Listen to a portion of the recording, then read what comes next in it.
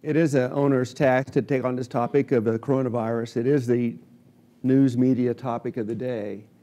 And I'm going to try to uh, give us a medical perspective on this condition. My background being internal medicine and rheumatology, immunology, I have to address the uh, issues of patients being immune suppressed, the same time taking those same immune suppressed disorders and treating them with immune suppressive medications. So I'm always under surveillance of looking for the opportunistic infection or the superbug that might be of harm to my patients. And I've been in that same mode for decades. And because of that, I was on the heightened awareness of what's going around in the hospital environments and clinics that may be a threat to our patient populations we're serving. So coronavirus came up as a topic the first of the year. In the first few days of its announcement, I took heed and listened to every bit of material I could gather on it to understand what it would represent to our future care of medicine. I have no financial relationships or disclosures. I have to uh, tell you I'm going to try to give this in the most scientific way possible, not to cause harm or alarm or panic, but to give us some knowledge to work with and how to brace ourselves moving forward. I'll try to give you the current update of information as much as possible. You can take your own phones right now and Google up and find what's happening to the moment's notice, which is great technology to have at hand. I'll tell you some ways that we're making the diagnosis and treatment of this disorder, and I'll give you some ideas of the future implications of what we're had to face, as well as perhaps some treatment options we can consider. A fascinating story the Eyes of Darkness, a book that was written, a science fiction book, was written in 1981. And in this book, the author proposes that there was a Wuhan 400 virus that got loose in China and resulted in a pandemic. So it's a situation where science fiction becomes science truth. Interesting in, in all perspectives. What is the coronavirus to begin with? And when do we first take note of it? It was in 1967. In 66, we had Tyrrell and another scientist came together and realized that this was a source of what causes us to have the common cold. And this is the picture of it, and you see that it has on it, this image, a crown like configuration. That's where they got the name corona, the crown like appearance of the virus. More recently, with our technology, this is what the coronavirus looks like under electron microscope. Another picture just released by the CDC. Once again, you see the shape of the virus, you see the crown-like configuration of the outer surface layer. When I first heard the announcement that there was a SARS-like virus involvement in China, I paused and I listened to extra acutely to the television as to what they were talking about. And I, because we look at this configuration the genus of virus in this, this big conglomerate, but it's in the beta side of these coronaviruses that we have MERS and we have the SARS. Now, why was that alarming to me when I heard that announcement? Well, in 2002, SARS, which stands for Severe Acute Respiratory Syndrome, was a beta coronavirus that was first di diagnosed or realized in China. They thought it came from a, a cat-like species of animal. It resulted in over 8,000 cases with a 10% mortality. Around 774 people passed away after being exposed to that virus. So very lethal in its presentation and the consequences of coming down with the infection. So SARS has always been an alarm signal to us as far as being a dangerous type of organism as compared to MERS, which occurred in 2012. MERS stands for Middle East Respiratory Syndrome, another beta coronavirus in Saudi Arabia, thought to come from bats. There were about 2,500 cases, which resulted in death rate of 858. Again, very lethal, very pronounced symptoms, fever, chills, and would take you down quickly to you're ill, you could not function in a matter of a few hours. So these are type of viruses that have been surveyed by the healthcare systems, WHO, the World Health Organization, and by the CDC, Center for Disease Control, have kept their eyes on these type of viruses intensely for decades. Now, if someone, once again, as the book in 1981 was talking about, could put a pin on the map of the world as to the place to start an epidemic, you could not pick a better place than Wuhan, China. It sits as a po population of uh, 11 million people in the center of the industrial complex of China, the most highly concentrated population on the earth. So it's the center of the world's population. And this is where it all began. In December, end of December, is when the first announcements leaked out that there was a SARS-like potential pneumonia occurring in Wuhan. It progressed rapidly. That, that first announcement came at the end of December of 19, 2019. And then we had the first death reported by January the 11th timeline. there was a whistleblower who's now famous, Dr. Lee, a young 34-year-old ophthalmologist. But he was part of a little group of doctors that were discussing that they were seeing these cases in the hospital. Even though he's an ophthalmologist, he was aware that these cases were in the hospital. It was a SARS-like pneumonia. And they started having this dialogue back and forth on the internet with each other. And it became sanctioned. The, the, the government of China found out about this discussion, dialogue going on, closed it down, gave, gave them threatening notice, which is this letter right here saying cease and desist with your comments and statements about this virus. Make no further comments at all. He himself then became infected with the virus at the end of January, and he succumbed to the infection by February 7th and passed. But he's been memorialized already because he was trying to get the word out his colleagues, watch out, we've got a problem.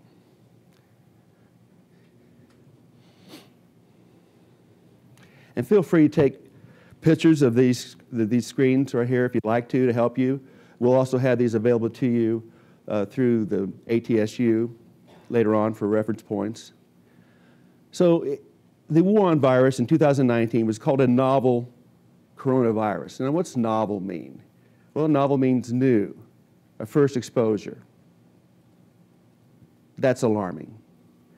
The first time in record history of medicine, we see this virus causing a disease in humans. We knew it was a beta, again, a beta coronavirus. That put it in the SARS-like category of viruses. The origins have been argued. It appears that probably it came from bats. The bats are notoriously for, are notorious for harvesting hundreds of coronaviruses in their species because they congregate, you know, in the caves and pass it amongst themselves. And they've become very tolerant of it. But once a virus leaps into another species, that's when it can raise havoc and cause concern. So right now, approximately, we can look at these numbers for accuracy, but 100,000 cases have been reported. There's lots of estimates saying that's only 1 to 10% of the actual numbers. So it's far greater numbers than what we're seeing being reported. I'll tell you why a little later on. Death rates, somewhere estimates to say, again, 8,000 so far worldwide. But again, there's been questions as whether the accuracy of that is true or not, and it could be considerably more than 8,000 deaths. This is when we came up with the name, the International Committee on Toxi Toxicology of Viruses, named this on February the 11th, the SARS CoV-2 virus, which stands for Severe Acute Respiratory Syndrome Corona 2 virus. That's the virus name. The disease it causes is called COVID-19, which stands for Coronavirus Disease 2019. So those are the names you see thrown out in the media, discussed by scientists. The first one being the virus, the second thing being the disease the virus causes.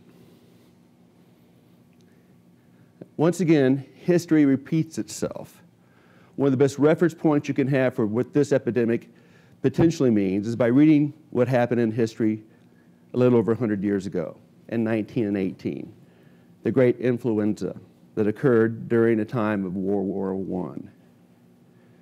a pandemic that went around the world in a very short period of time.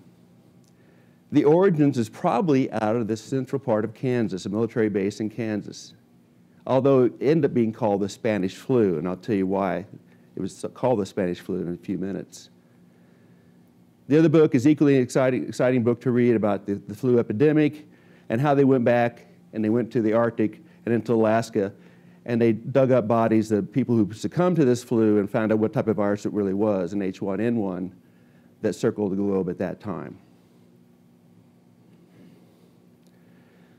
Another documentary I would recommend you to look at and watch on YouTube is The Deadliest Plague of the 20th Century, Spanish Flu of 1918. We're very much in the same boat as these folks went through right now. Not to alarm you, just to give you the idea of what these viruses represent and what type of position we are in healthcare in trying to address this situation. You look at the pictures from that era, you see the gymnasiums, the hallways of hospitals crowded with people on every bed, every cot, every space available. That is from a picture from 19 and 18, 19 and 19, as compared to what we see today in central China. Looks very familiar, doesn't it? Back then, they wore masks and they were spraying, they were spraying disinfectants to try to stop the spread of the virus. And again, 19 and 18. And we're doing the same thing today, wearing masks and spraying disinfectants. Now, this is more alarming, like in Italy, when they go down the streets and they fog the entire street and the air around it with devices such as this. That, to me, was another alarm bell.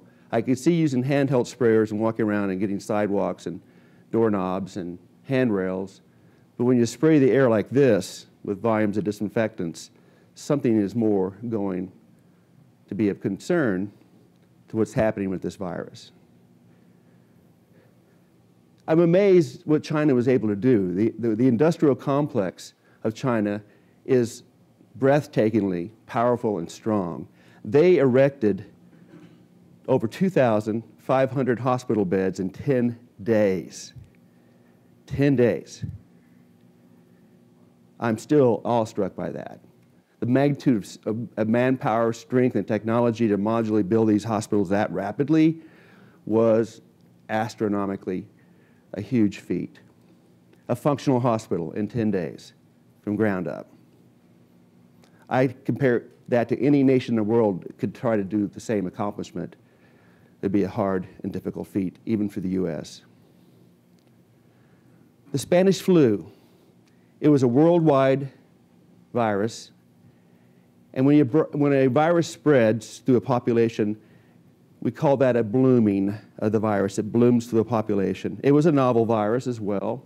It spread around the world three times in 18 months, beginning in 19 and 18. It went around the world in three waves. It mutated each time in 18 months when the fastest mode of transportation of the era was a steam locomotive and a steamship. Did you get that? the fastest mode of transportation was a steam locomotive and a steamship. Yet this virus circumnavigated the planet three times in less than two years. The governments of the day suppressed information. Why? They didn't want to know, let people know their population was ill, incapacitated, or suffering casualties. So all the nations of the world that were infected, most of them suppressed the news media as to what was really going on because it could be jeopardizing their own home security. The one nation who didn't hide from the media what was going on was Spain because Spain was neutral in World War I. And so they had nothing to really be concerned about, nothing really to hide. So their media was more accurate to the devastation this virus was causing their population and thereby they got the honor of being called the Spanish flu, even though it began most likely in Kansas. Governments were also worried about the economic impact. This disease, the Spanish flu, hit predominantly young adults between the ages of, of 15 to, to 35. So it was hitting healthy young adults, mostly military recruits, about two to one, men to women, and especially they were in concentrated environments. It overwhelmed the healthcare system of the era. There wasn't enough doctors, there wasn't enough nurses, there wasn't enough hospital beds, there wasn't enough masks to go around. Sound familiar? They brought students out of medical school in their first year of training. First year medical school students took care of entire wards of hospitals by themselves. Doctors came out of retirement, nurses, technicians, lab folks, everybody who could be the walking, capable person to give health care and render health care was called to the station to help.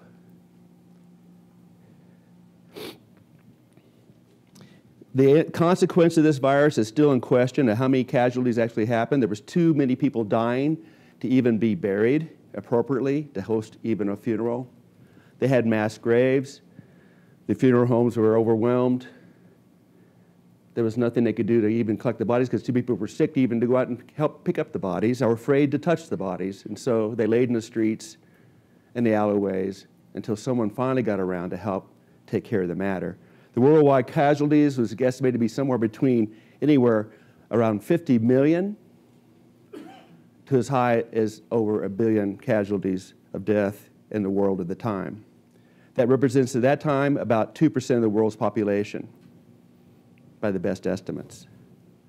That's the Spanish flu. Now let's do a comparison. Spanish flu to our current epidemic. They're both, they're both novel viruses. Now, why again is novel new viruses so alarming? The thing about the being novel is we've never had as a species exposure to it. So we have no what they call herd immunity. Herd immunity. The herd's never been exposed. So no one has a given immune potential for it yet. It's a first time exposure to our immune system to go to battle against this virus in particular. There's no same, same situation it was in 1918 and 1919. We have no antiviral medication that's been proven to be effective. We're throwing everything we can at it. We're using the HIV medications to see if it has hope. And there's been a few cases of responding response that patients have experienced with those type of, of uh, medications. But we have nothing in our toolbox. There's no vaccine. And there's, we'll talk more about the vaccine op op opportunity and potential, but the vaccine is, is not there. There's a worldwide involvement with both viruses, and we'll see that happen with this as well. We're trying to go into battle with it with masks, disinfectants, and quarantine areas of the world. We also have a situation, once again, where it has a potential to overwhelm our healthcare system. The R naught, the R naught, the R zero this is the infectivity of a given organism, the R naught. By example, it means that the R naught for the Spanish flu was estimated to be somewhere around two. So if you took a room of 10 individuals and a person walked into the room that had the Spanish flu, that person would infect two other individuals in the room. That's an R naught of two. The R naught that just recently came out that's being talked about with our current coronavirus is 3.5 to greater than 7. 3.5 to greater than 7. A person walks in a room and there's 10 other individuals and they have the coronavirus, the COVID 19. They will infect three to seven other individuals in the room that they, they just came into. The death rate of the Spanish flu was somewhere around 2% to perhaps 3%. This death rate now has been quoted to be at 3.4%, almost four individuals per, per se. Now, the first news came out that people present with the common cold like features fever, chest pain, chills, rapid heartbeat, difficulty breathing, pneumonia can be part of this issue. They thought it was spread by coughing and sneezing, by droplet dispersion. So when you cough or sneeze, you spread those droplets out around you to an area of about a meter, three to, anywhere from three to five feet surrounding area.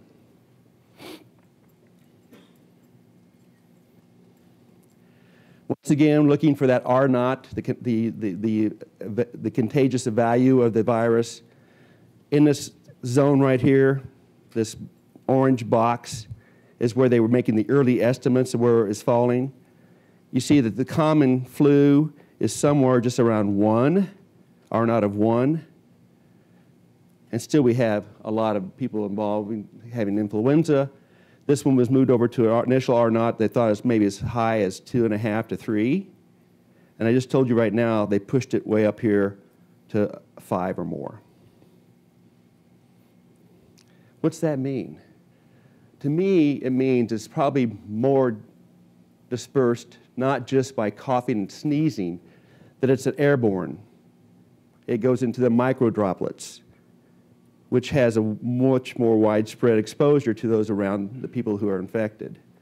So here's a Lancet article just recently published saying we should think this could look like it might be an airborne and that it might require more protection with a high grade mask, a respirator mask called an N95.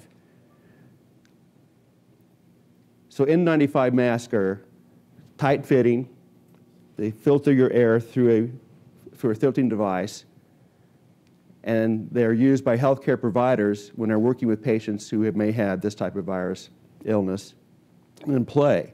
But once again, we're a little bit short on these masks, and there's a call to have those reserved only for healthcare providers and don't have other people who are not healthcare providers hoarding them or buying them off the shelves and keeping the third self in, in a fashion where they prevents the healthcare providers from having this protection. So droplet disbursement, again, if it's aerosolized, it can move out to as far as 30 feet around that person who's ill. Those micro droplets can spread that far around the individual. If you want to know the example of what the contagious capability this virus is, look what happened to the Diamond Princess cruise ship. Several thousand individuals confined on this ship. It's basically a microcosm of the world at large. They were put together on that ship like we're put together on the planet.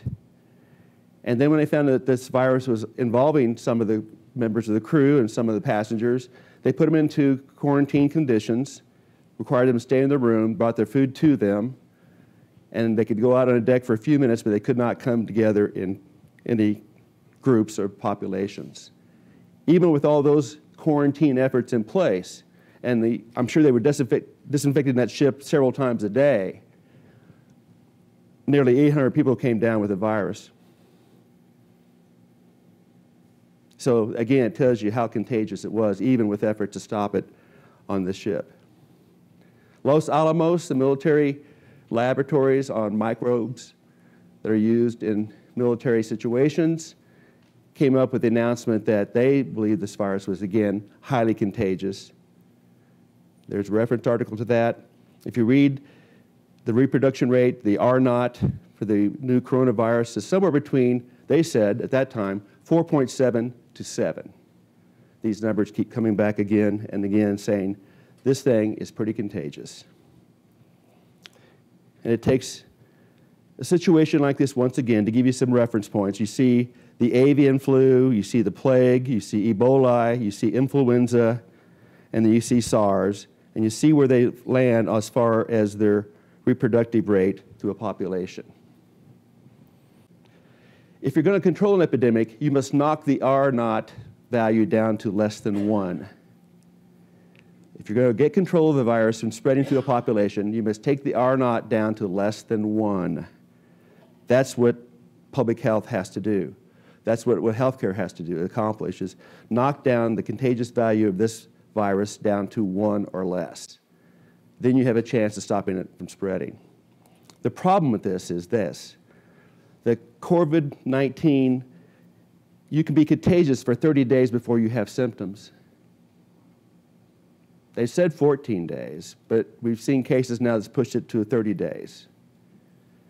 So when you're watching them wand individuals with a temperature check device through airports, you could still be walking around with the virus and be contagious to other individuals around you and not have a temperature. That's why I said that's a good thing they're doing that because other SARS viruses manifest rapidly with fever, and that was a way to pick up a SARS-like virus in populations moving around. But this one is pretty quiet. It's pretty subtle, the way it moves. And then after you have this virus, which the good news is 80% of the time you may have the sniffles, a minor cough, a low-grade fever, and you get over it. You're fine, no problem. But you're still contagious to others. And even though you got over the cold, the minor cold of this virus, you could go on for another 30 days and spread that virus to the people around you, even though you have no symptoms and no fever. So you got on both ends of the spectrum. You got the virus, you're walking around, you're contagious with it, but you have no symptoms. And then you might come down with some minor cold, like symptoms that last a few days, a week or two. And then after you clear, you can walk around for another 30 days, asymptomatic, spreading virus to those around you. That's a difficult situation to get your arms around. And even patients who can maybe totally asymptomatic, they didn't even remember being ill. They had a day where they felt a little tired, a little scratchy throat, and that's all they ever manifest from this virus. Otherwise, they had no sign that they were really ill to any degree. They're asymptomatic, basically, yet they had the virus and test positive. The real concern, though, is a few percent of these patients have, are what are called super spreaders. They have a gastrointestinal manifestation. They have the vomiting and diarrhea. This is alarm bells. Because remember I told you about the SARS in Saudi Arabia? A few of those cases had the gastrointestinal manifestation. One individual who had projectile vomiting and severe diarrhea infected 100 people in healthcare because the burden of the virus in the vomit and in the stool is so heavy and laden with virus, it spreads it in a wide dispersed fashion. So super spreaders are a super concern. Harvard professor recently said this, this pandemic is likely to occur and will affect 40 to 70% of the world within a year. Think about this.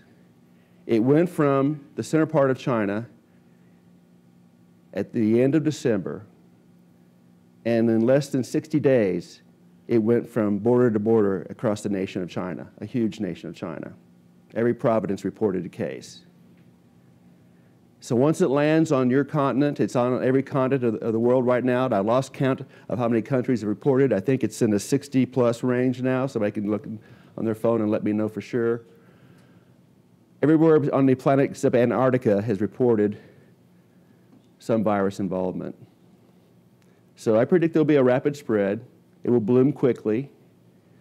And I predict that we'll have, what, we have 11, 12 states in, in America right now report cases. And I predict that we'll probably see all 50 states report cases within the next few weeks or a few months at the most. You can go online and look at the COVID 19 global cases by Johns Hopkins. It's a great resource to go to daily. They show a map of the world. They give you a tally of the reported cases and the reported deaths, and they chart that out for you as an excellent resource, the most scientific, one of the most scientific resources you can go to to see where this virus is going and where it's at and currently involved. Interesting enough, though, I saw one little mistake on this map is it don't show the center of the United States in Omaha. Well, that's where they took some of the Princess Cruise members to in Omaha, Nebraska, because that's where we have one of our best hospitals in the nation to control contagious diseases. And so they're being quarantined there and watched there and treated there. So that's another place on the map you could add. Another source is going to be the world, the worldometer of the coronavirus through the, the WHO and CDC post this, this page. You can go to it daily and it keeps a very accurate count to the cases in the world and the deaths that have occurred. So if you're looking for resources on a daily basis to the count, these are the two best I can come up with. How does the virus kill? If you go to this website, it's posted daily on YouTube. The physician here, internal medicine, pulmonary medicine, critical care, reports daily what's going on with the virus how it involves the humans as we understand it, how do we best diagnose it, how do we best treat it. So another good source for you, Basically, what happens when this virus gets into someone who's susceptible to it, you end up with ARDS, Adult Respiratory Distress Syndrome, ARDS. You're going to diagnose this virus by using a PCR test, polymerase chain reaction test, a PCR test. The problem is a limit on the kits we had available. Initially, the only organization that had the kits, the testing kits, was the CDC. So you had to go on the phone, call the CDC, tell them you thought you had a suspected case, plead your case that you need to have a test done, and hope they give you a kit and ship it out to you, and you make the diagnosis whether the patient's positive or negative after all that process has occurred. That's a very slow process, very cumbersome, very time consuming, and a lot of people get exposed to someone who's ill who may have the virus and you don't know if they're positive or not. So the CDC recently then allowed the academic labs across the nation to have kits of their own and do their own testing. So the availability of kits is expanding rapidly. And we just heard last week a plea that we could have a, we have a million kits produced as fast as possible for doing testing. One example being Washington State. The state of Washington wanted to test 5,000 people. They only had 300 kits. So you can't make a diagnosis if you don't have the kits. What do you do? Somebody comes in, they have viral like symptoms, cough, shortness of breath, fever, pneumonia like presentation. They change the criteria to say you can use a CAT scan now, a CT scan of the chest, see the pulmonary infiltrates, have somewhat of a classic presentation. We'll show that here in a little bit. To give you some clue besides laboratory testing that you have a coronavirus infection occurring in a patient. What happens besides having the ARDS, which by the way is a very difficult problem to take care of. When you have ARDS, you have a long, hard road of healthcare ahead of you for that individual. The other thing that happens with the SARS virus, it gets called a, a cytokine storm. Some people's immune system overreacts to the attack. And so your own immune system comes in and goes into a rage to fight this virus, and the rage is so hot and so intense, it hurts you. It hurts the individual.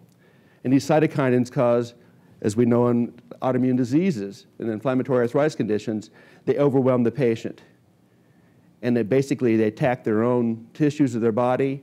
They destroy their own lungs, their own heart, their own kidneys, and go to multi-organ system failure and succumb to the illness. This virus seems to land on the ACE2 site of cells, the ACE2 site of cells, angiotensin converting enzyme site 2. Where do you have that in your body? Well, the preponderance of that is in your lungs. And so that's why this goes into the mucous membranes of your lungs.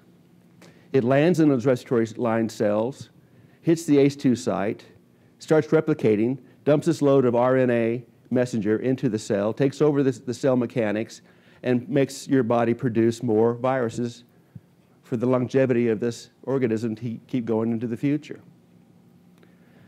Who has a lot of ACE2s? Well, men tend to have more ACE2 receptors than women. So this virus tends to hit men five to three compared to women.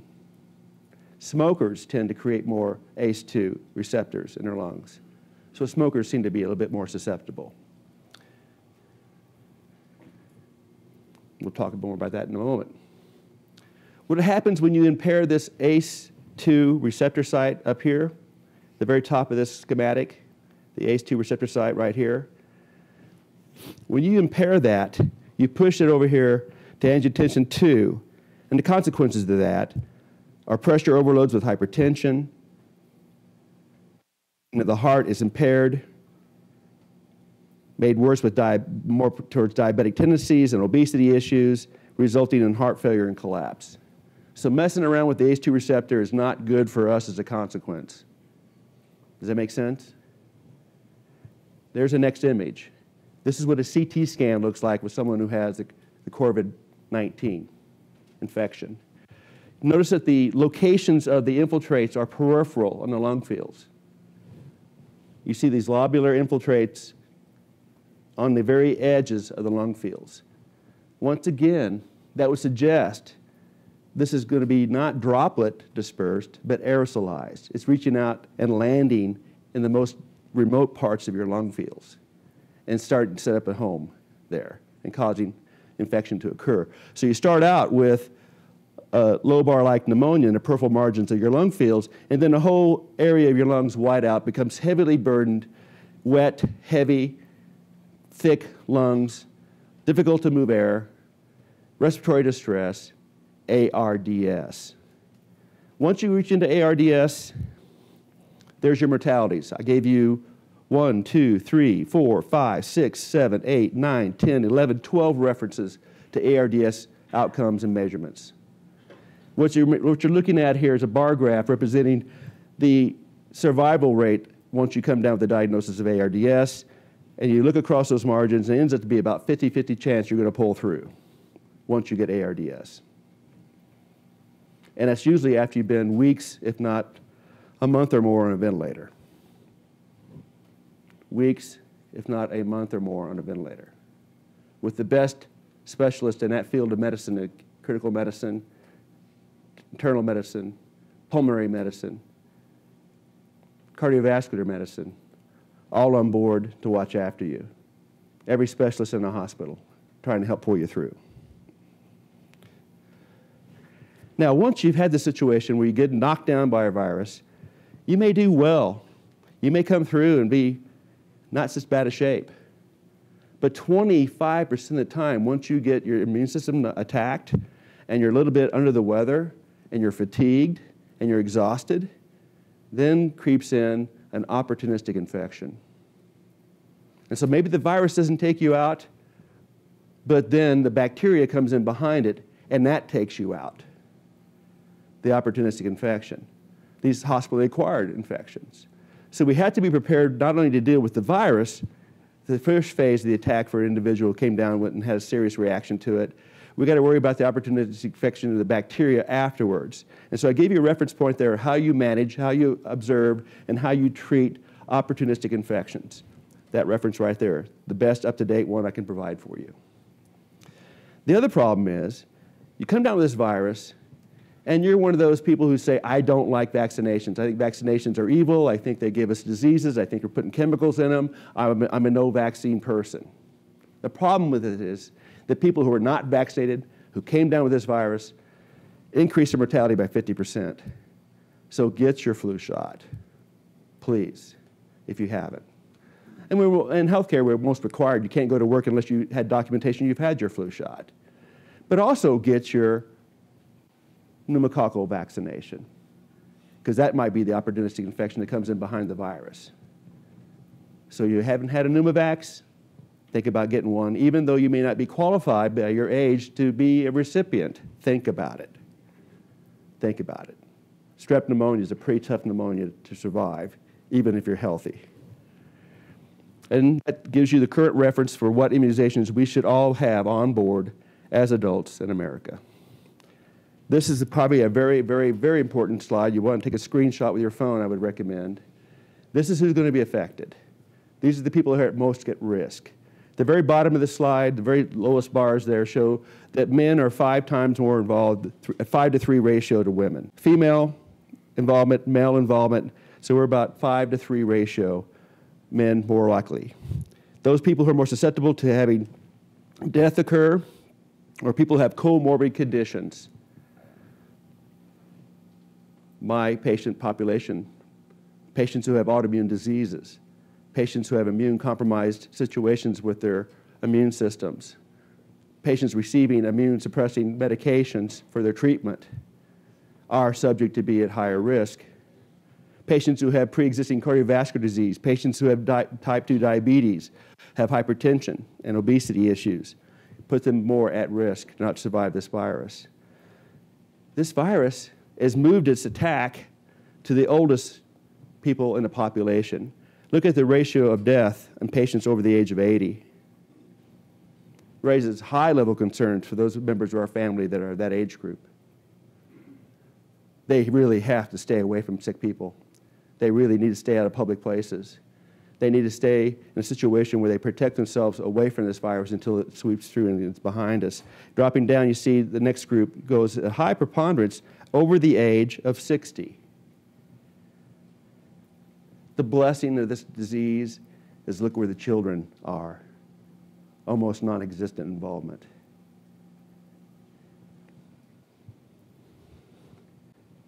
Dr. Anthony Fauci, a very, very famous, very, very good researcher and scientist, he made his fame on the AIDS epidemic and HIV infection. He still works at the CDC as a leader. He's a spokesperson. You see him on television frequently giving updates, giving reports to Congress. Truly a remarkable man, a hero. He comes up and says here a few days ago, back, well, it's back in February 3rd, this is a statement.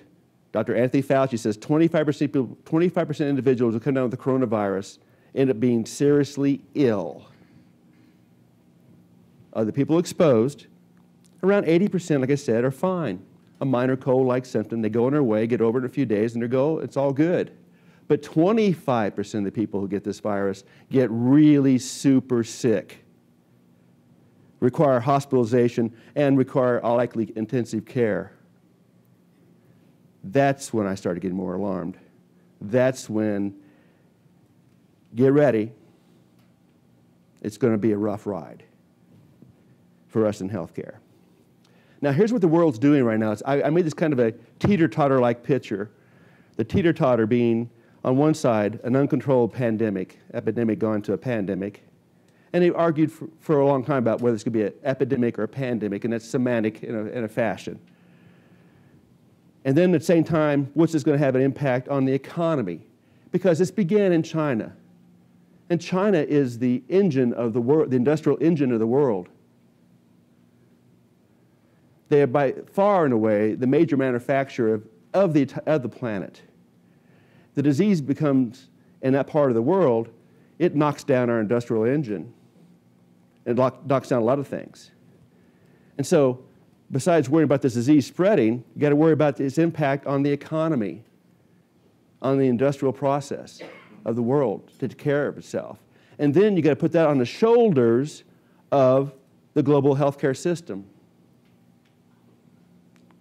They are going to carry the burden of these sick people, balanced on the, the epidemic spreading versus the impact to people going, being able to go to work and do the normal day's job and have access and resources to take care of themselves in the process. And the governments are all trying to balance these three things in the circle. Do you keep people confined for months and months and months? And how are they going to get pay? How are they going to be able to afford to pay their bills if they're not going to work or they're quarantined? How are you going to go to school and get educated if you can't go to classes? How are you going to turn factories on and make things in factories if you're quarantined? Everything comes to a, a standstill until you got to say, we got to get out and run the risk of getting infected, but we have to, somebody has got to go, got to, to go, go to work, turn the lights on, get the water flowing, fix things that are broken, right? So you have to balance that between exposure to the need of moving the economy ahead. And then if you let it go, if you go cavalier with it and let everybody go out and mingle around each other and come, come to congregation events and you get a bunch of people sick, then you put all that burden back on healthcare. And now your hospital's filled up to the brim with sick people rushing the emergency room, rushing to go to, to go find a hospital bed and find someone to take care of them.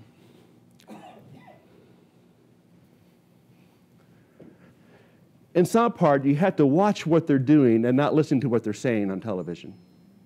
All right?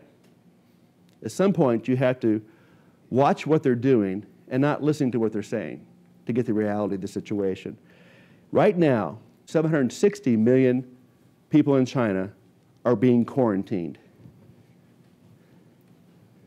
That's double the size of the US population is in quarantine in China. Imagine that impact. They're keeping this disease under control with draconian military enforced quarantine situation. And the Chinese people are doing a wonderful job of trying to stop the spread of this disease. But it's the most strictest quarantine environment that we would probably not tolerate. They are used to, to listening to their government. They are used to following the rules. And they're used to having the military over, take charge of their, their lives. Not so, I don't think, in a nation of America. I don't think we would succumb to that type of quarantine environment. I think we would, we would probably rebel.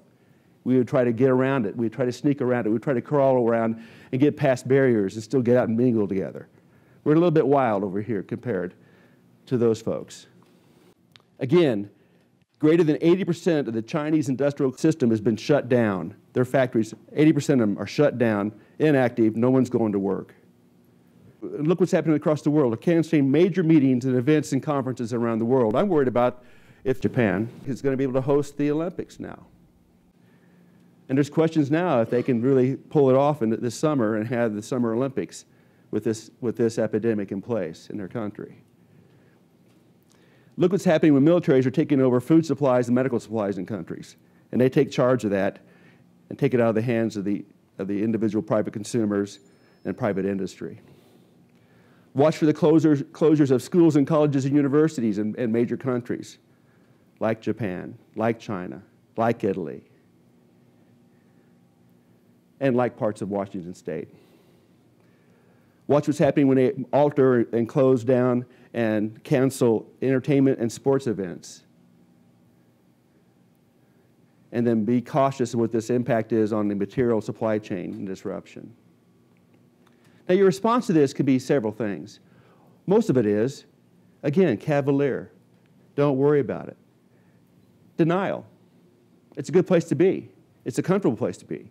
Because no one wants to go to bed thinking about these things or wake up in the morning and be the first thought in your mind. You want to just go about your life and be happy and don't worry. And that's fine. That's that we should stay in that part for as long as we can. The next part is you, you become so overwhelmed, but you become catatonic. You, you just stop. You just freeze. You don't act. You don't move. You just stand still. You get in a fetal position and hide. That's not a response either. It's going to gain you anything. And so you, you balance between being in a state of denial into a state of being catatonic, and you want to be in a state of activity. Do what you can do. Do what you can do for yourself to stay healthy and help those around you. That's where you want to be. Keep in an upright mode, keep in a healthy mode, eat well, sleep well, take care of each other well, so you can stand on your feet and keep helping the one beside you to your right and left and to the front and behind you. That's where we want to be. I get upset when I see the government's work under a PC type of modality, the politically correct words to say. Or I also call it panic control. Don't get the people panicked. Well, you're right, panic's a bad place to be. We don't want to be rushing around fighting each other, grabbing things, and worried about the world around us. But we do want to function with proper public health policies in place. And that's going to be, again, good hand washing, modifications of lifestyle that we'll talk about here in more detail, quarantining people who are ill and recognizing they're ill as soon as possible and getting them away from other folks. I get worried when I hear big organizations say, we got this under control. Mm, do we? The battle's just begun. It's a little bit early to announce that we've won victory on this thing and say we have it under control. So the word is they've been trying to avoid is using the word pandemic because I think the new word I'm going to call it is called panic-demic. They're trying to avoid the sense of panic. They want, don't want people rushing stores and buying all the items off the shelf and going into short supply and hoarding and doing all the crazy things that happens in the state of panic. And I agree to that. And then using body temperature screening to control the disease spread, I told you right now, that's not going to work with this virus.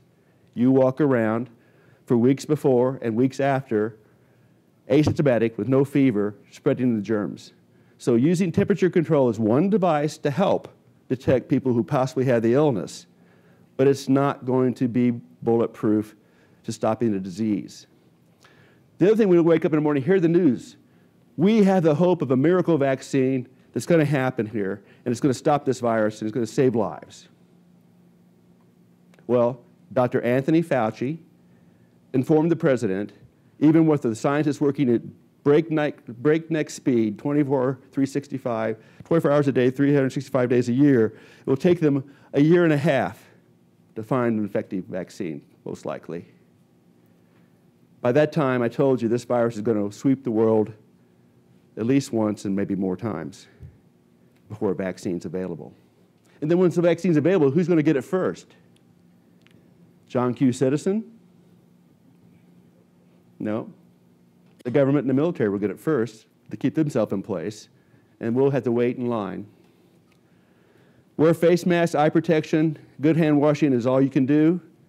We reassured on TV, ABC, all the channels, CBS, NBC, name a, name a channel. They say the, the best doctors come on and say the best thing to do is good hand washing technique, stop handshaking, stop kissing, cough into your elbows, sneeze into your elbow.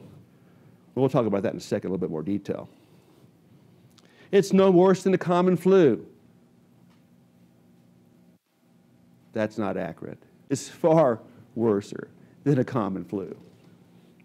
So, yeah, we do have people who succumb to the influenza every year, and we have significant casualties. But the casualty rate for that averages somewhere way less than 1% of the population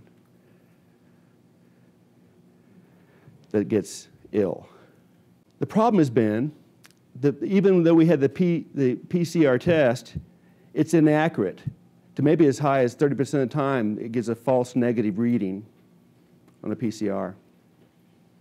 And then we don't have enough available tests, I told you all ago. We don't have enough test, test kits to go around.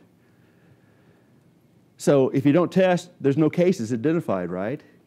That's why the numbers might be falsely low if you're not testing because you're not looking for it. That's one state of denial to be in. And as I told you before, you had to get authorization from the CDC originally to get even a test kit available. You had to get on the phone and argue with somebody at headquarters. You think you have a sick patient, I need a kit, I need a kit now and you may have to wait days or longer before someone will let you test the person you think has a disease. We in America claim to have the best healthcare system in the world, but we also have our limitations, people. We may be the best, most scientific, the most efficient, the most progressive healthcare system in the world, but we've lost a half a million hospital beds in America since 1975. We're down to just shy of a million hospital beds in America serving a population of over 300 million. Okay? So we let our beds go into attrition and we close down hospitals and we close down beds and we don't have the staffing to expand that very easily. Do you realize we have less than 100,000 ICU beds in America? Less than 100,000 ICU beds in America. So I told you this disease, 25% of people get seriously ICU sick. Those beds right now are occupied at a level of about 65% of those beds are already occupied today with people who are sick on average. So the expansion bandwidth of our ICU capacity is limited. And guess what? If they do have ARDS and have to go on a ventilator, we have somewhere shy of 70,000 ventilators in America to work with. We've got limitations. And I'm not sure how fast we expand the number of beds we have. We can't, I don't think we can build 2,000 beds in 10 days. Maybe China can teach us how to do that. There he is. There's one report. You can look these stats up and Google it and confirm what I told you. One stat there showing we have, what, 94,000 plus ICU beds active right now in America. Now, the CDC says to us with wisdom saying, and WHO says, avoid touching your face avoid touching your face. Do you know how many times you, on average, as a human being, touch your face in a given day? One, three times an hour to as high as 23 times an hour. So it can go from a few hundred times a day to over, well over 3,000 times a day you're touching your, your face, your head with your hands. So it's kind of a hard habit to break. You know, keep your hands to yourself, keep your hands out of your face. It's a, it's a challenge. You got to think about it. I think the most important thing of a, a, traditional, just a surgical mask, is not so it protects you from spreading the disease or from getting the disease. It keeps your hands out of your face. Is the most important thing the mask is about. Avoid handshakes, avoid knuckle punches, avoid high fives, avoid hugs and kisses. So how do you greet each other now? Well, do the elbow bump. Really? Where did I just sneeze? Where did I just cough? And then I'm going to bump you with it. Right? I don't buy that one. Wash your hands for at least 20 seconds or sing happy birthday to yourself twice while you're washing your hands. Physically, mechanically, soap and water, wash your hands. Wash your hands. And wash your hands. Every time before you touch a patient, wash your hands in front of them. Do it like a ritual. Do it methodically. Do it habitually. Do it so they can be reassured you're coming to them with clean hands. Wash your hands, and then probably afterwards, glove your hands not to protect you from them, but protect them from you, what you might be carrying. Avoid touching public surfaces. You know, I remember what, even years ago, I've always been somewhat, obviously, a germaphobe. And watch the kids go through the stores and run their hands up and down the handrails and grab every item around them and touch every surface they're around. I go, stop touching everything around you. Put your hands away. Put it, stop. Don't, don't grab it. Go up the stairs, but don't hold on to the handrails. Those places are difficult to control and ch- difficult to change. I, this is WebMD. I looked it up just the other day. Here are 15 germy things in your life. 15 germy things in your life your cell phone, your remote controls, your keyboards, your dish sponge at your sink in the kitchen, your toothbrush holders, your break rooms at work, your pets' toys. Your money is dirty. Did you know that? Money is dirty, really super dirty. I mean, see what China did to their currency? They confiscated it to get it out of circulation to stop the spread of the disease. Your coffee cups that you don't wash so well. Your laundry rooms. Your purses, ladies, is kind of a thing you should watch out for. ATMs, kitchen towels, towels of any nature soap dispensers, shopping carts, areas with high, high germ exposure. I'm going to add to that list my 10. I had the, the Jackson plus 10. Your stethoscopes, doctors, you never wash them down, you never wipe them off. You're taking that scope and you're going from patient to patient to patient to patient to patient with it, and you didn't clean it once. In fact, all your exam instruments, your hammers, your otoscopes, your ophthalmoscopes, you're not wiping them off. You're not sterilizing them. You're not cleaning them. What do you think that is? It's called a fomite. A fomite. It's a germ carrying object. And you should not be spreading that object between the patients and between individuals you're caring for. You need to take time and cleanse your clinical and hospital environment that you're working with. The most important person in this hospital team is going to be the housekeeper will save more lives than the doctors and nurses will if they're doing their job properly. Give them your utmost thanks and appreciation for their job. Neckties. Yeah, it looks good to have tie, but do you ever wash your tie? Do you ever sanitize your tie? That tie where you lean over a patient that swings across the bed in the environment, and then you put the same tie on and you spilt food on at lunch. You wipe it off, go on your way. Get rid of the ties now if you wear them. Your laboratory coats. I see the students walk in, they're not white coats, they're kind of gray with a ring around the collar. Wash your coats all the time. Change them out. Don't tuck them outside of the hospital. Put them in a bleach, you know, wash with, with hot water. Clean your lab coats. If you're going to wear one, clean them and change them frequently and have several dozen of them.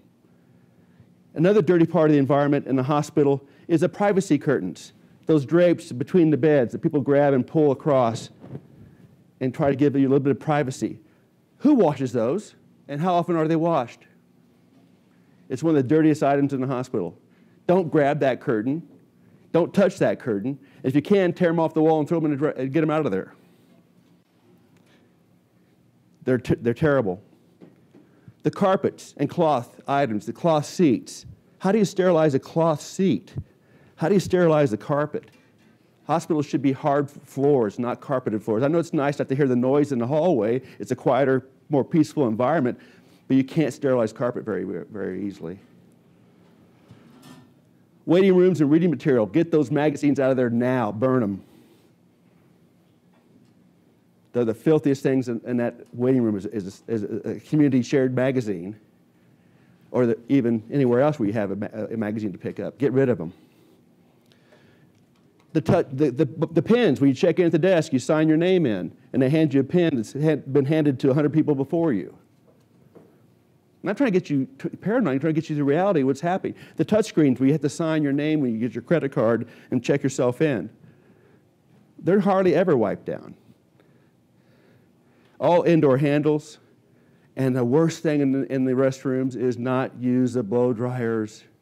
People, what happens when you put your hands down inside that blow dryer? Where's the air blowing up into? Your face.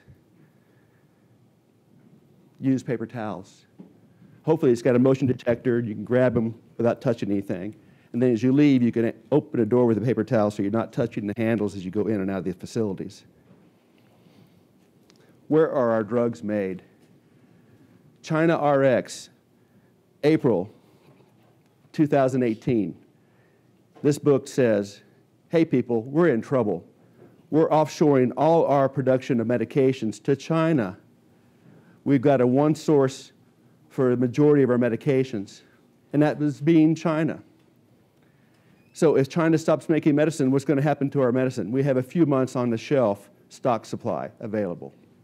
Then over there where I got circled, it says that 97% of our antibiotics are made in China.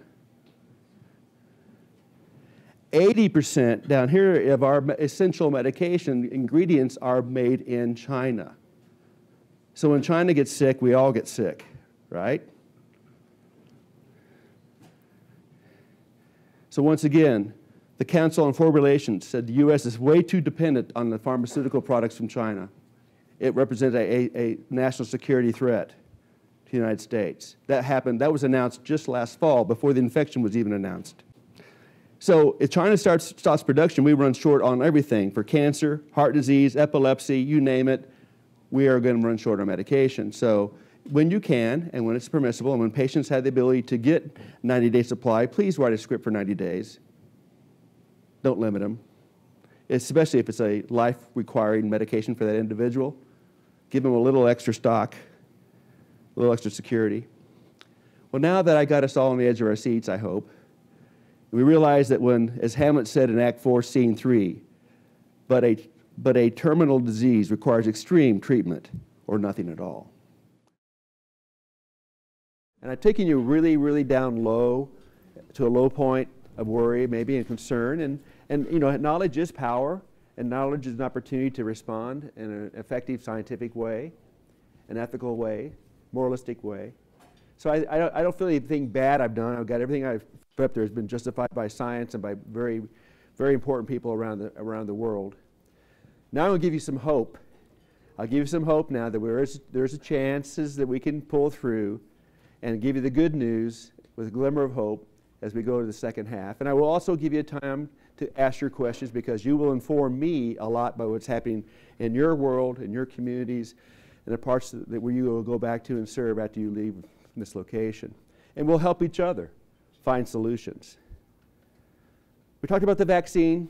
Traditional vaccines are down in this corner where it's circled here, you're using a attenuated live virus, or you're taking virus particles and you're making a vaccine out of it. That's a traditional way of making a vaccine since the beginning of the vaccination process. The new methodology is up here at the top, is where you actually take the RNA molecule of the virus and you're using that to promote an immune response with the vaccine. So an RNA-based vaccine is what they're going for. And Dr. Anthony Fauci said, we're doing that as fast as we can. We think it's effective. We think it's, it's going to be a very a way of stopping this virus from spreading. And we're going, all of our focus is going to get an RNA-based vaccination to come out as fast as possible. But even with the best of efforts, pushing it through the system, pushing it through the, putting it into the field in phase phase one, two, and three trials to the utilization will take us probably 18 months. I'm not sure that's fast enough to get ahead of the tsunami that's coming on us, okay? That's all I'm saying. So uh, the vaccine will be there, but we're going to have to wait a little while. I already mentioned about touching your face and changing the way you do your life. And, you know, Lloyd came up with a mask on, I think it was upside down and inside out. But the main thing, the main reason we have it there is to keep reminding you, it does keep the droplets from dispersing as much. It doesn't keep the the aerosolized molecules from coming in from the sides of your mask unless it's tight fitting around your face. And by the way, they're telling us to get rid of our beards so those masks will fit tighter and not have a gap and space around it. And if you're obviously sick and, you're, and you do have this virus and you're coughing into your environment, the mask will kind of keep you from spreading into droplets around your immediate proximity. But mom was right. Stop picking your nose, stop putting your hands, your fingers in your mouth. Keep your hands to yourself more and more all the time. And I don't say don't do the elbow bump. I'm saying just do this. Just cross your arms or put items in your hand so people won't be tempted to reach out and try to grab your hand. You know, and, and approach your ear that way with courtesy and, and grace. And we'll go on to what we should do for our own pantries. And this is regardless of this virus. This is if you have hurricanes and where the parts of the world where you live. This is what happens if you have tornadoes come through your communities. The, if you have a national disaster or local disaster, these are the things you want to have in your pantry. 25 items that everyone should have in case of a short-lived emergency. So there's your answer. I, I said 25, I said 37 items that you should have in your pantry. Just Google that up and you'll find those items in detail.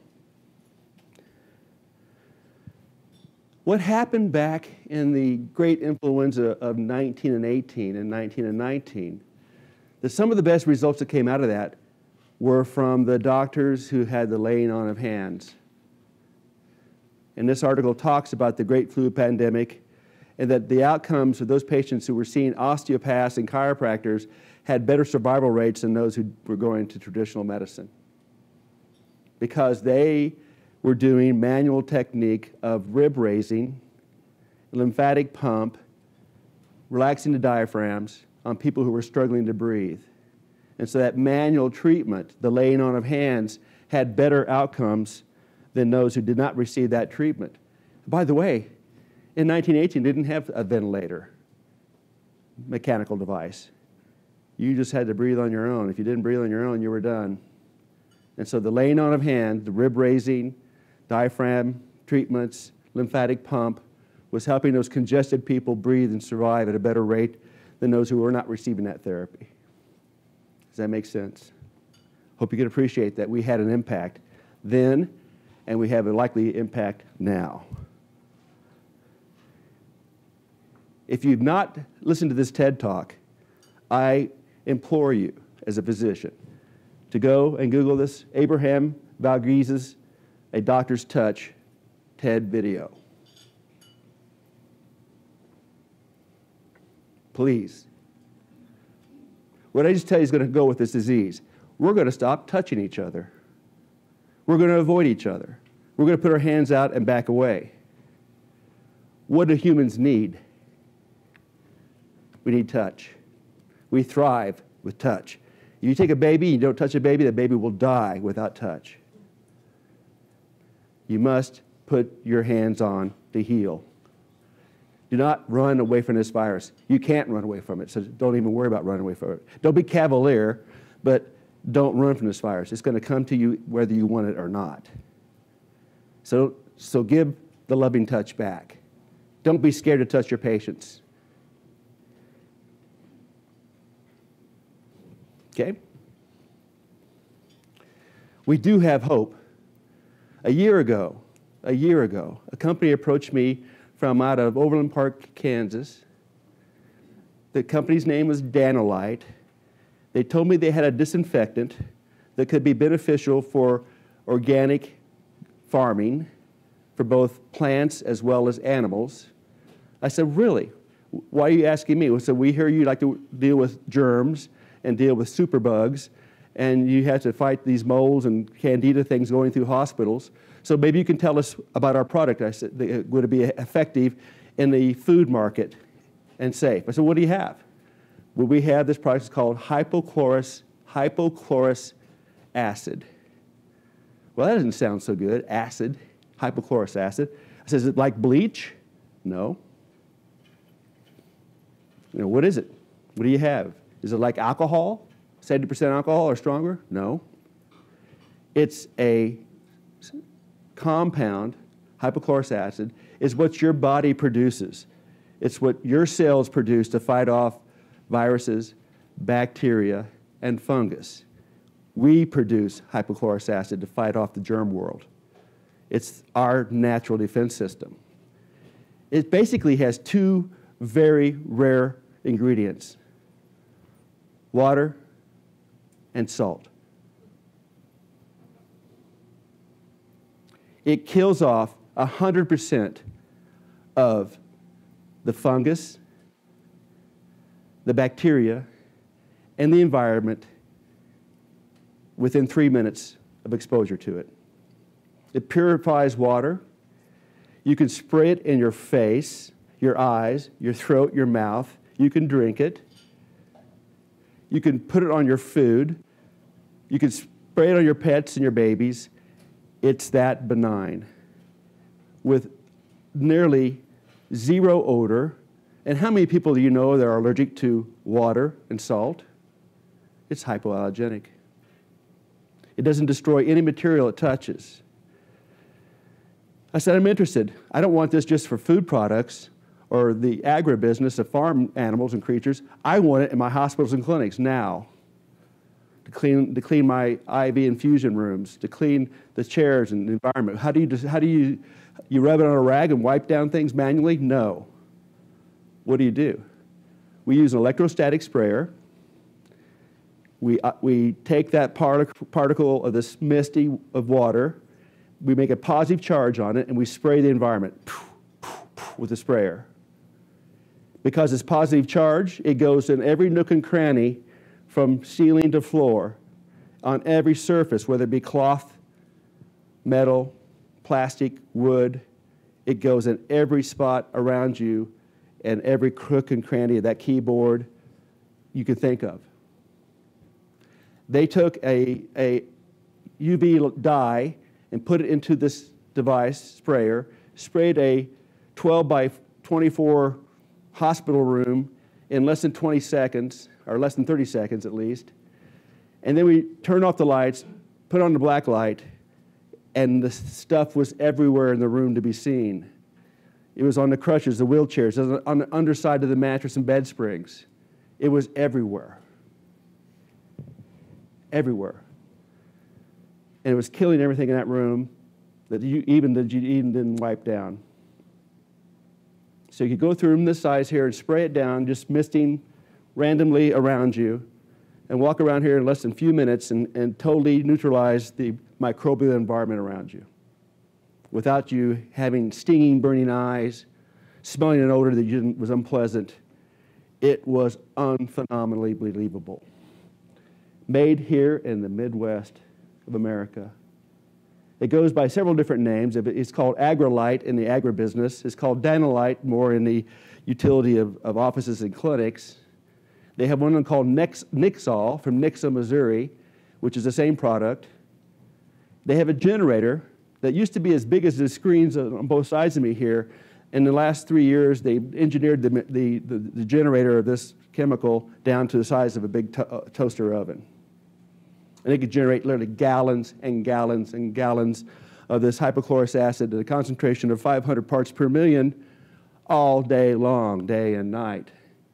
And only takes a small fraction of that that you dilute 10 to 1 and then use it, and again, electrostatic sprayer, and you can cleanse and purge your environment in a short period of time. I do not own any stock in the company.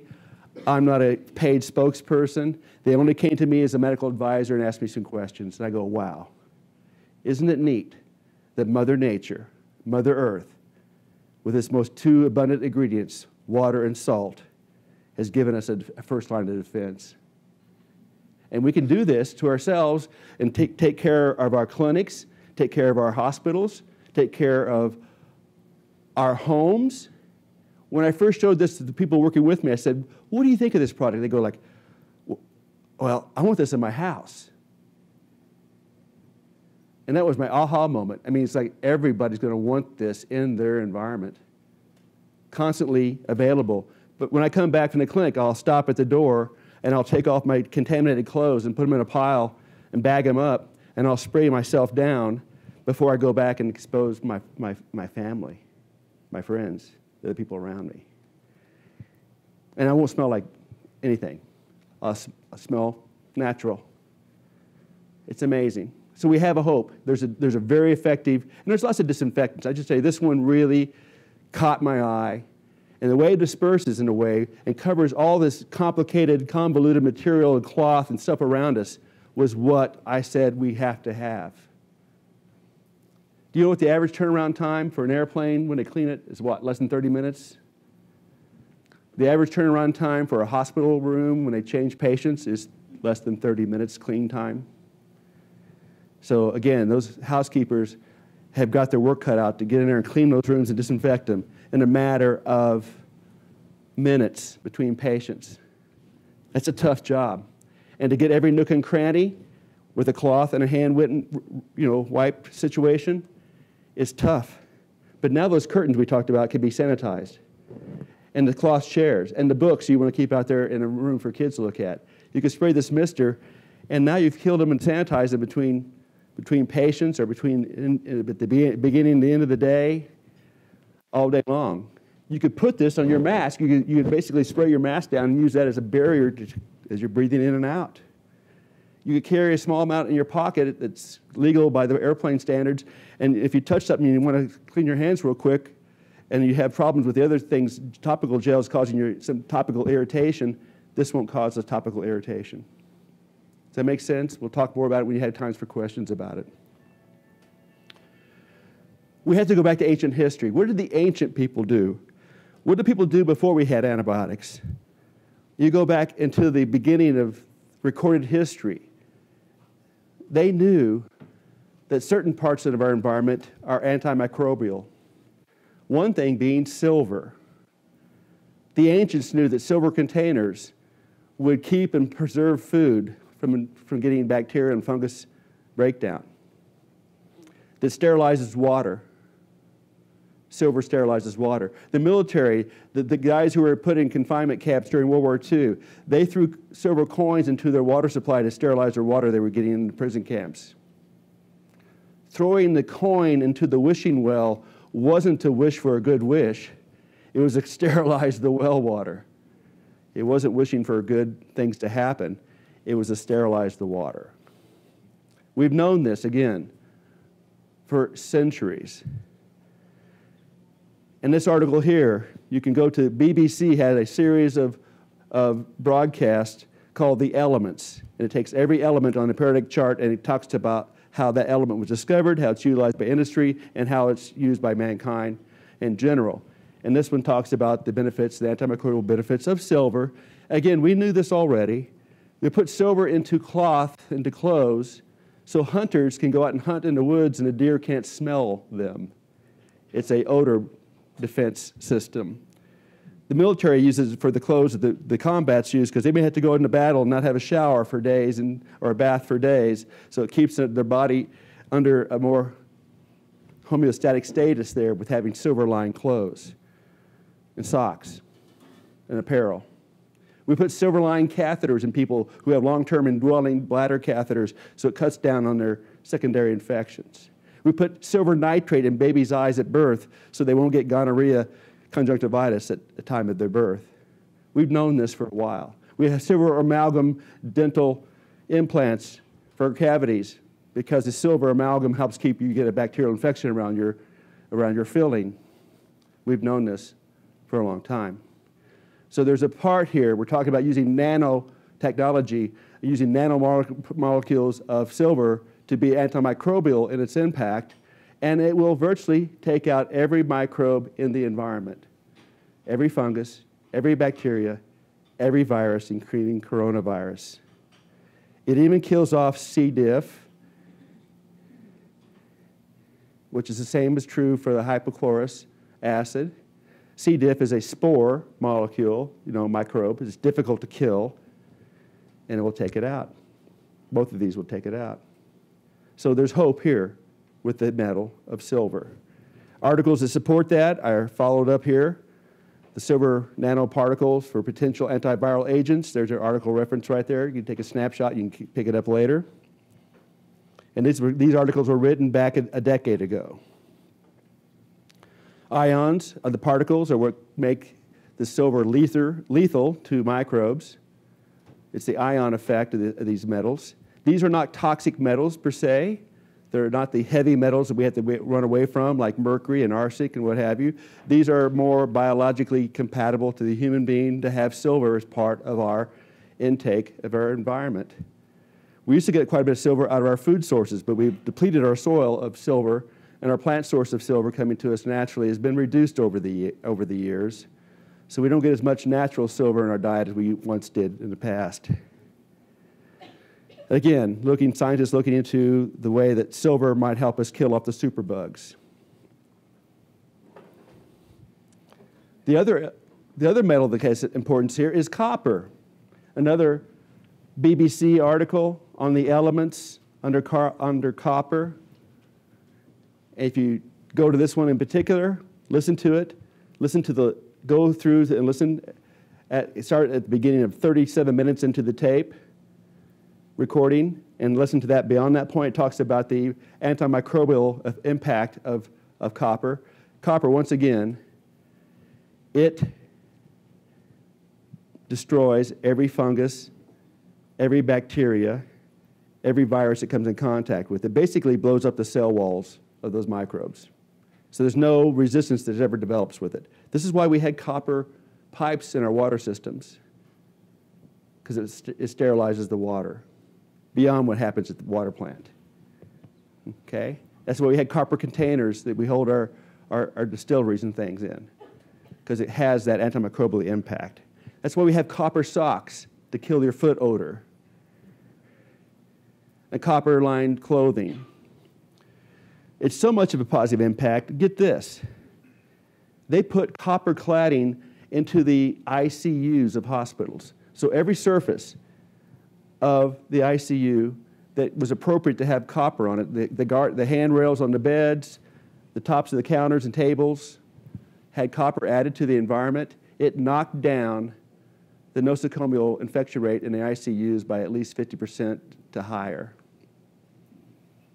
So copper on the surfaces of these things had a positive impact. Let me jump back to silver and say this about silver. Remember we had silverware when actual silverware was silverware? Utensils. You know why? Not because it was any value, other than the fact that we didn't have very clean water to wash off our, our eating utensils, and the silver spoons and the silver forks and knives would kill the bacteria, with, even though it wasn't wiped down so well by the ancient folks. Does that make sense? So, copper cladding, again, study proves that copper reduces nosocomial infections in the hospital by uh, uh, above 50% rate or higher. Another hope is our, our hemp growth in America using CBD. There's some research that shows that we are growing our own marijuana and making medical products out of that might lead to some antimicrobial and antibacterial products down the road. And there's several research articles looking into the antibacterial capabilities of CBD, cannabidiol. So we can get back into the pharmacy business again with our own plants that we grow locally and we produce in factories in this country. A TED talk again talks about how we can use the, the fungus in our diet, the mushrooms. Six ways that mushrooms can save the world. Another TED cast that you should listen to. Part of it talks about that, that, that mushrooms are antibacterial and they're antiviral. So there's hope there's actually quite a bit of hope. My predictions for how the winds of change will, will come over us, how, this, how is this world going to change? There'll be far less socialization, far less physical intimacy.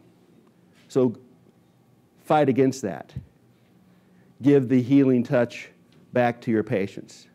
Fight against the, the desire to stay hidden away and isolated and quarantined to some degree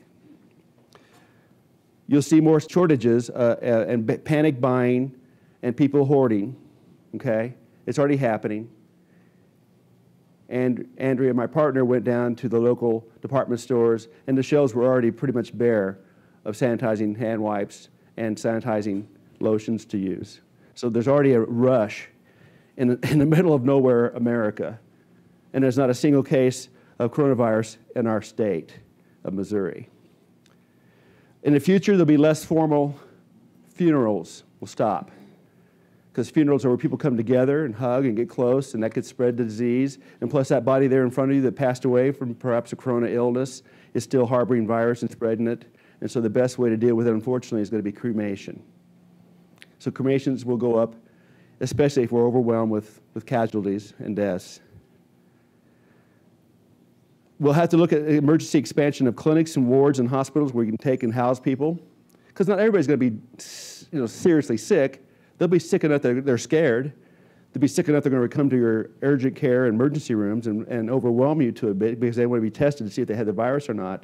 So you have to triage and use your resources wisely. And basically, if you think you're coming down with a cold and kind of ill, in the future, if it's, if it's an epidemic locally, the worst place to go is to a hospital because here you're definitely going to get exposed if you didn't have it to begin with. So don't overwhelm those, those sources. Try to take care of yourself and do some home remedies. Keep some NSAIDs, anti-inflammatories, anti-fever medication around. Take care of it that way. It's going to be an urgent call for all hands on deck. So if you think about retiring, wait for a while. We, we may need you. If you're going to healthcare, get a fast track and get in healthcare as fast as you can. We're to be more telemedicine. And guess what? The best news for me is with this virus comes a full impact. You can kiss the computer goodbye. EHRs are going to be history. You won't have time to get out and chart. You'll be busy taking care of people. In Wuhan, the doctors came on their shifts and the nurses and the hospital staff, they came in, they put on their biohazard suits.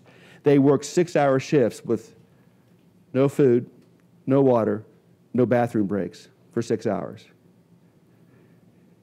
They came out of their suits, they decontaminated their bodies with harsh chemicals, and they went into quarantine and they in, lived in quarantine dorms for weeks to months on end. They couldn't go back to their own families. It's a tough chore when it gets that serious. But guess what? They didn't spend hours with their biosuits on trying to type on a keyboard into the medical record. Didn't have time. You'll see cash disappear because money is a fomite spreading germs. So the cash environment will probably rapidly go to a cashless society and cashless commerce. Again, it's kind of hard to work on computers when you're wearing those kind of suits and spraying down the environment. You're going to be taking care of people. We get back to taking care of people. That's going to be fun, actually. China banned formal funerals. They enforced cremations. They grabbed the bodies, took them out of the, took them out of the environment, put them away, and disposed of them. That's the heat source coming out of Wuhan, China, because even though all the industry was shut down, the factories were not producing anything, there's no so smokestacks in the air. That was the, that was the carbon dioxide image over that part of the world, which means their, their crematories were on full, full activity. They stopped, their they stopped moving cash around. They confiscated their cash. The banks wrapped it all up, sterilized it, put it in vaults, and hid it away, took it out of circulation the hope. I told you, there's some hope in the things I just listed there that we could use as antimicrobials we never thought of. We knew about it, but we never applied it to the effectiveness. We hope that the spring and the summer warm weather will slow down the spread of the virus. So as we go into the warmer days of spring and summer, there's a hope that the coronavirus, like other coronaviruses, will slow down its impact as far as spreading around. The southern hemisphere will have to worry a little bit, like Argentina reported its first case, so they may be in trouble because they're going into their winter. The great news is the children, the babies, the pregnant mothers are somewhat spared. Only a small fraction of the young people are going to be impacted, so our kids are going to be fine. That's wonderful. Our pets and livestock will be spared, so our food sources and our animals that give us love and pleasure will be around. There's hope in this novel RNA vaccine coming out in a rapid fashion to be very effective for us. And there's a chance this virus could mutate and become more benign and burn itself out, mutates to being more benign with less illness, less casualties, less death, and nature itself will let us go into a, a, a place of happiness. This is the wallpaper in my hotel room. this, this thing is chasing me around the planet. Thank you, people.